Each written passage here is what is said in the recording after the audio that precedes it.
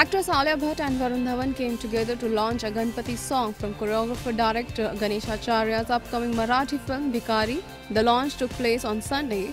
Praising Acharya, Varun said, मेरे बचपन का बहुत बहुत बड़ा पार्ट रहे हैं बचपन से जानता हूँ उनको मैं एंड मैं उनके सामने ही बड़ा हुआ तो थोड़ा इमोशनल हूँ या स्टेज पे उनके साथ खड़े रहकर एंड जो भी मास्टर जी करते हैं दिल से करते हैं श्रद्धा से करते हैं और मतलब दुनिया में मतलब ये पप्पा के बहुत बड़े भक्त हैं, मैं ये जानता हूँ।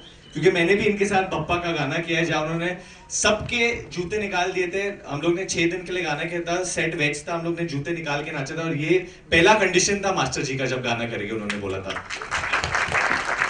क्योंकि ये एक ऑनेस्ट भक्त है एंड आई थिंक पप्पा आपको डेफिनेटली फल देगा, आप सबको फल देगा I am sure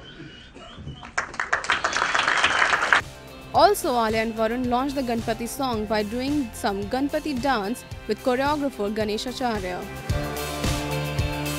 Bikari revolves around the sensitive relationship between a mother and her son in the backdrop of their business. It features Swapnil Joshi in pivotal role.